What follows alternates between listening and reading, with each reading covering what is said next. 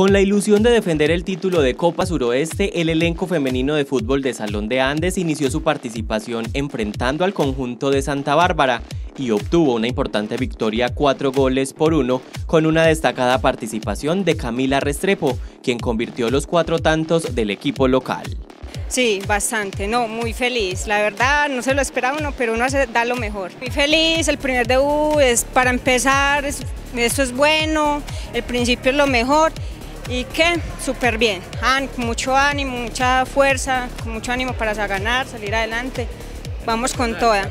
Andes dejó buenas sensaciones ante uno de los rivales más difíciles del torneo, por lo que se incrementan las esperanzas de acceder a la siguiente ronda e ir en busca del título.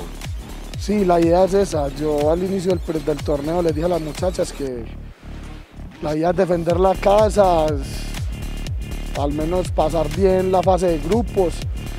Y ya de ahí el domingo es otro torneo, Julián, esos cuartos de final y uno no sabe cómo con qué se encuentra uno en el camino. Los equipos vienen bien preparados, hay equipos fuertes. La casa es la casa, hay que defenderla y vamos con toda a jugar esa final.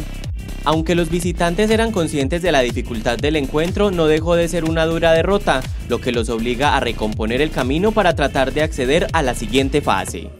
Eh, un debut difícil, se sabía que era difícil porque era con el local, donde iba a haber mucha presión.